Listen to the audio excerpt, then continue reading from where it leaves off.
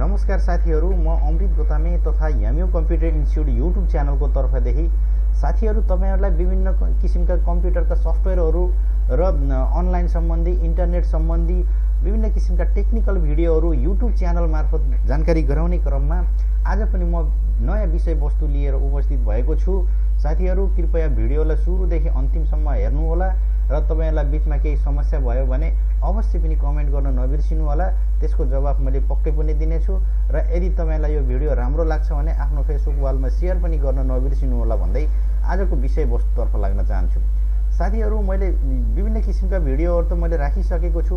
आज मैले के गर्दैछु भने तपाईँहरूलाई यो विशेष गरी अब यो लोकसेवा आयोगले चाहिँ के गर्छ भने पहिला जस्तो आयोगकै अफिसमा गएर अब फर्म भर्ने त्यस्तो सिस्टम छैन अहिले। यस्तो गर्न थालेको करिब अब तिन वर्ष भइसक्यो। तिन वर्ष पहिला चाहिँ हामी लोकसेवा आयोगकै कार्यालयमा गएर भरेर बुझाउनु पर्ने हुन्थ्यो। आजकल चाहिँ त्यस्तो छैन। तपाईँहरूले विश्वको कुनै पनि ठाउँमा बसेर त्यो फर्म भरेर त्यसपछि आफ्नो डिस्क्रिप्सन आफ्ना डिटेलहरू सबै त्यसमा एड गरेर सिधै त्यहीँबाटै अब हामीले पेमेन्टको फर्म फिलअप गरेर प्रिन्ट निकालेर गएर ब्याङ्क मार्फत पेमेन्ट गरेर तपाईँले आफ्नो अनलाइन फारम रजिस्टर गराउन सक्नुहुनेछ। यो पहिलाको भन्दा अहिले अलि फेरि त्यो पनि भिन्दै किसिमको छ। पहिला पहिला हामीले यो मास्टर आइडी लिएर गएर लोकसेवा आयोगकोमा गएर प्रिन्ट गरेकोबाट पैसा पेमेन्ट गर्ने गरिन्थ्यो। अहिले त्यस्तो पनि छैन। अब अहिले चाहिँ अनलाइनबाटै हामीले यो ब्याङ्कमा गएर अथवा अनलाइनको यो ई सेवा मार्फत अनि विशेष गरी यो हाम्रो राष्ट्रिय वाणिज्य ब्याङ्क र ग्लोबल आइएमई ब्याङ्क मार्फत त्यो हामीले पेमेन्ट गर्नुपर्ने हुन्छ। र पहिलाको भन्दा अहिले एकदम टोटली फरक छ साथीहरू। हुन त मैले योभन्दा पहिला पनि एउटा यो सम्बन्धी एउटा सानो भिडियो त बनाएको थिएँ। त्यो भिडियोले अब पुरानो भयो र नयाँ अपडेट गरेको हुँदाखेरि मैले फेरि यो नयाँ भिडियो बनाउने कोसिस गरेको छु।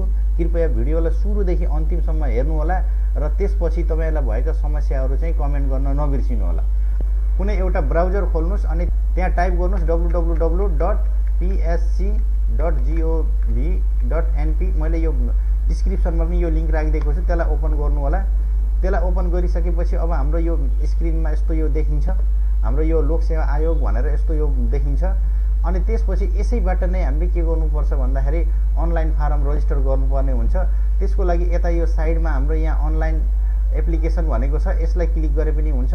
नभए यसको अर्को तरिकाबाट पनि खोल्न सकिन्छ। त्यसको लागि म चाहिँ यो लिङ्क यो डिस्क्रिप्सनमा पनि दिएको छु। त्यो लिङ्कलाई डाइरेक्ट क्लिक गरेर पनि तपाईँ त्यतापट्टि जम्प गर्न सक्नुहुनेछ। मैले यसैलाई क्लिक गरिदिन्छु।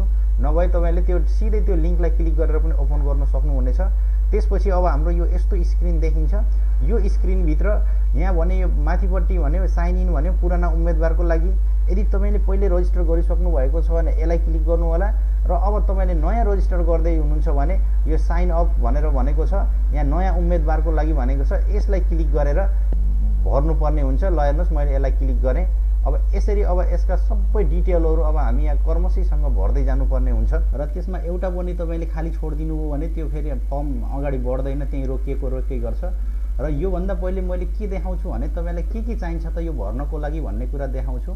एउटा कुरा तपाईँहरूलाई के चाहिन्छ भने सबैभन्दा पहिले त अब आफ्नो नाम चाहियो अनि त्यसपछि आफ्नो जन्म मिति अनि नागरिकता बाबुको नाम आमाको नाम हजुरबुवाको नाम यदि तपाईँ म्यारिड हुनुहुन्छ भने पति वा पत्नीको नाम पनि चाहिन्छ। यदि होइन भने यो आवश्यक पर्दैन। अनि त्यसपछि इमेल ठेगाना चाहियो। अनि मोबाइल नम्बर आफ्नो मोबाइल नम्बर पनि चाहियो। त्यसपछि आफूले अध्ययन गरेका पढिसकेका डकुमेन्टको विवरण पनि चाहिन्छ।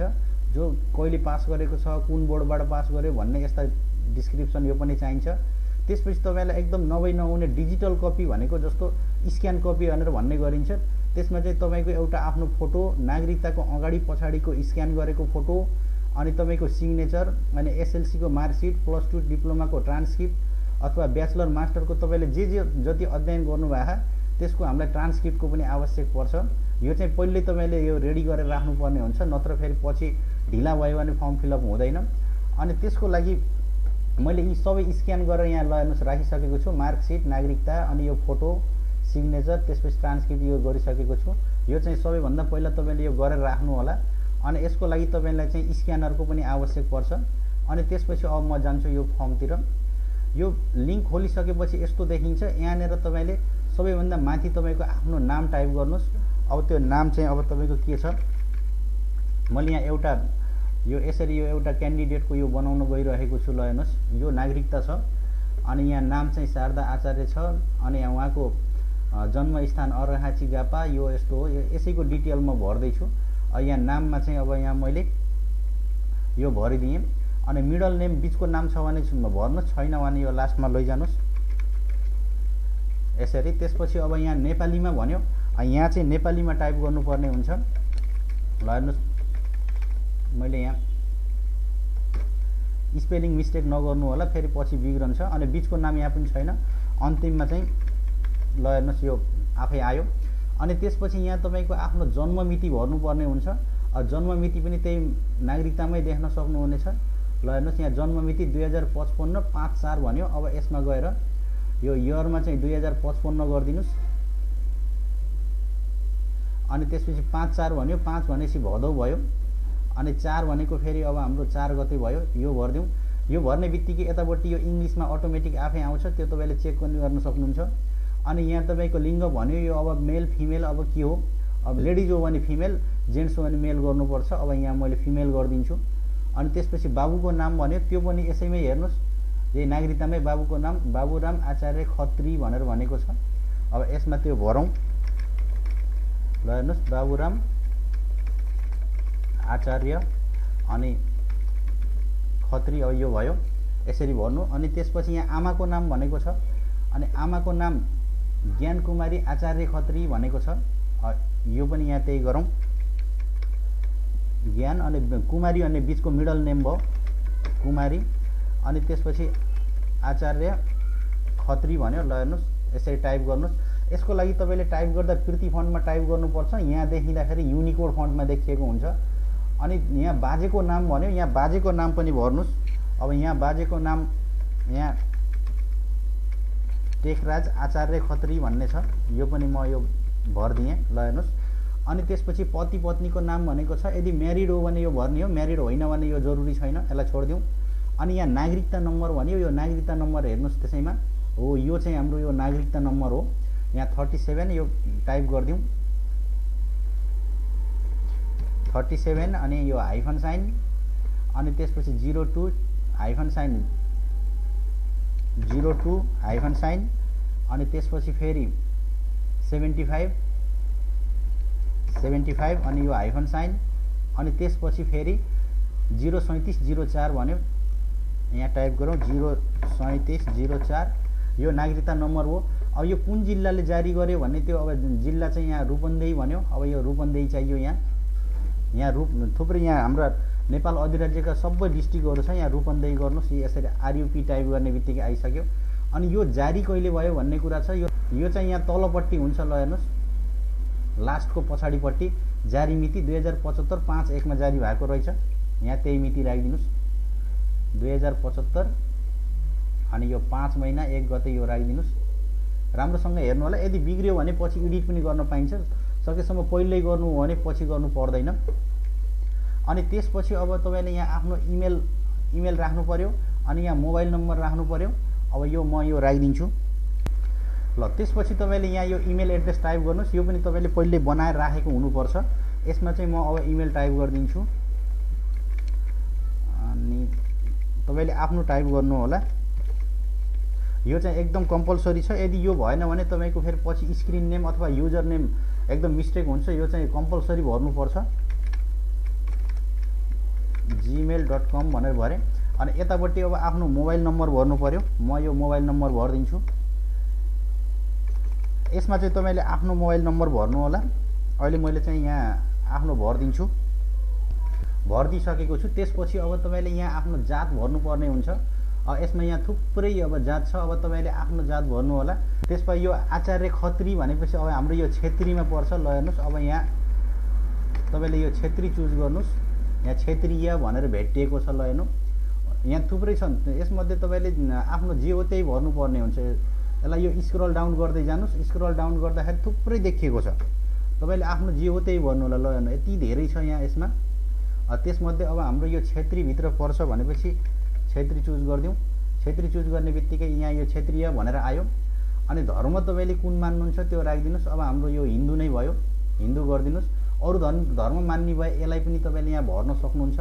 अनि वैवाहिक स्थिति अब म्यारिड अनम्यारिड के हो? अब हाम्रो अनम्यारिड बाई अनम्यारिड अनि म्यारिड बाई म्यारिड अथवा यो अनम्यारिडलाई चाहिँ यसले सिङ्गल भनेर देखाएको छ यो सिङ्गल चुज गरिदिउँ। अनि रोजगारीको अवस्था चाहिँ यसमा तपाईँ कस्तो हुनुहुन्छ? जागिर गर्नुहुन्छ कि गर्नुहुन्न कि? अनि त्यसपछि सरकारी जागिर गरिरहनु भएको छ कि के छ? यहाँ भरिदिनुपर्छ। अब नगर्नेले अनइम्प्लोइड गर्नु पऱ्यो जागिर गर्नेले चाहिँ गभर्मेन्ट हो कि अदर हो यो चुज गर्नु पऱ्यो यदि अदर गरियो भने यहाँ उल्लेख गर्नुपर्ने हुन्छ। यहाँ अनइम्प्लोइड गरिदिएपछि यो भर्नु पर्दैन। अनि मातृभाषा अब हाम्रो लगभग धेरैको अब नेपाली छ। अब जसले जे हो यहाँ थुप्रै यसमा पनि थुप्रै लिस्ट छ यो। यसलाई स्क्रल डाउन गरेर हेर्दाखेरि यहाँ तपाईँले देख्नुहुन्छ। अब हाम्रो यहाँ नेपाली नै राख्नु पऱ्यो जसले जे हो त्यो राखिदिनु होला। अनि शारीरिक रूपमा अशक्त हुनुहुन्छ भनेर भन्यो। आफू यदि अपाङ्ग हो भने त्यसलाई यास गर्ने नभए पर नो अब छैन। यसलाई नो गरिदिउँ। यदि हो भने फेरि तपाईँले यसको डिस्क्रिप्सन पनि यहाँ दिनुपर्ने हुन्छ। त्यसपछि अब आफ्नो बाबुआमाको अब यहाँ शैक्षिक योग्यतामा गयो। अब तपाईँको यो बाबुको शैक्षिक योग्यता भने अब यहाँ एजुकेटेड अथवा अनएजुकेटेड के हो त्यो तपाईँले आफ्नो भर्नु होला अब यसमा चाहिँ अब एसएलसी हो कि अथवा एसएलसीभन्दा मुनिको हो कि हायर एजुकेसन हो कि अनएजुकेटेड भनेर यहाँ लिस्ट दिएको छ। अब जसको जति छ त्यति भरिदिनु मैले यहाँ एसएलसी भरिदिएँ। ल अब यहाँ आमाको भरिदिनुहोस् तपाईँले। अब आमाको एसएलसीसम्म हो भने एसएलसी गर्नुहोस्। एसएलसीभन्दा मुनि हो भने यो एजुकेटेड गरिदिनुहोस्। पढ्दै नपढेको भए अनएजुकेटेड गरिदिनुहोस् अनि त्यसपछि हायर एजुकेसन हो भने हायर गर्नुहोस्। अब यहाँ एसएलसीभन्दा अन्डर भएको हुँदाखेरि म यहाँ एजुकेटेड मात्र राखिदिन्छु। यहाँ फेरि अब तपाईँले आफ्नो आमा बाबुको मुख्य पेसा भनेको छ यहाँ के छ त्यो राख्नुहोस्। कृषि गर्ने भए एग्रिकल्चर बिजनेस गर्ने भए बिजनेस पढाउने भए टिचर टिचर प्राइभेट हो कि पब्लिक हो यहाँ थुप्रै अप्सन छ। त्यसमध्ये अब मैले यहाँ बिजनेस भनेर राखिदिन्छु। यदि अदर हो भने यसको यहाँ डिटेल खुलाइदिनुपर्छ। अनि आफूलाई के भन्न रुचाउनुहुन्छ भन्ने कुरा छ। अब यो तपाईँ हिमाल पहाड तराई अनि त्यसपछि आएर भित्री तराई अब कतातिर कहाँको हो त्यो यहाँ राख्नुपर्ने हुन्छ। अब रूपन्देही भनेपछि अब हाम्रो यो तराईमा पर्छ। तपाईँको जिल्लालाई चाहिँ अब नेपाल गभर्मेन्टले कुन तोकेको छ त्यो चुज गर्नु होला रूपन्देहीलाई चाहिँ अब तराई भनेर राखेको छ। त्यसपछि तपाईँ कुन समूहमा पर्नुहुन्छ भन्ने कुरा छ। अब यहाँ थुप्रै छ अब यहाँ। यो आदिवासी जनजाति दलित अनि वैश्य छेत्री ब्राह्मीण के हो? अब हामीले माथि छेत्री भनेर चुज गरेका छौँ यहाँ नि छेत्री नै गर्नु पऱ्यो अनि एकपटक यसलाई सर र तलदेखि माथिसम्म हेर्नुहोस्। अब जहाँ तपाईँले भर्नु भएको छैन त्यहाँ अब रेड कलरमा हाइलाइट गर्छ। हामीले यो नेक्स्ट गरिसकेपछि सर चेक गर्नुहोस्। छैन भने फेरि पछि एडिट गर्न पनि पाइन्छ। तर अहिले यहाँ मिलेको छैन यो स्टेपै अगाडि जाँदैन। अनि त्यसपछि मैले यहाँ सेभ क्लिक गरिदिन्छु। सेभ क्लिक गरिसकेपछि यस्तो बक्स आयो। यसमा चाहिँ यस आयो वान टु सबमिट गरिदिनुहोस्। त्यो गरिसकेपछि यदि मिलेन भने यहाँ एरर देखाउँछ मिल्यो भने ल हेर्नुहोस्।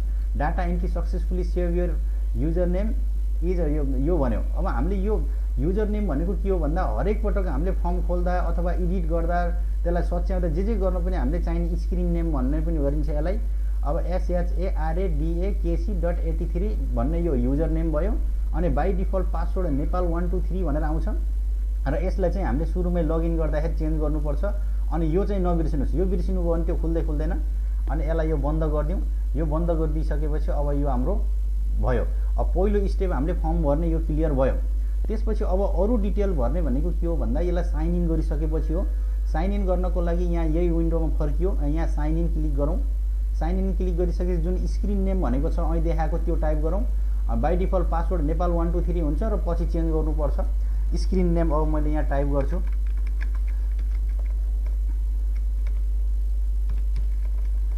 एट्टी थ्री यो यो देखायो। अनि त्यसपछि पासवर्ड चाहिँ यहाँ नेपाल वान टू थ्री दिएको थियो। अनि यसलाई साइन इन गरौँ। साइन इन गरिसकेपछि ल यसले नयाँ पासवर्ड चेन्ज गर्न भन्यो। यो पासवर्ड चाहिँ सधैँ अरूले थाहा नपाउने गरी आफूलाई चाहिने पासवर्ड राख्नुपर्छ। र सकेसम्म यो चाहिँ अरूलाई देखाउन पनि हुँदैन किनकि अब डाटा लस हुनसक्छ। यसमा तपाईँले आफ्नो सम्झिने खाले पासवर्ड राख्नु होला ल यहाँ यो पासवर्ड टाइप गरिसकेपछि यहाँ फेरि त्यो पासवर्डलाई रिपिट गर्नुहोस्। अनि मैले त्यही रिपिट गरिदिन्छु।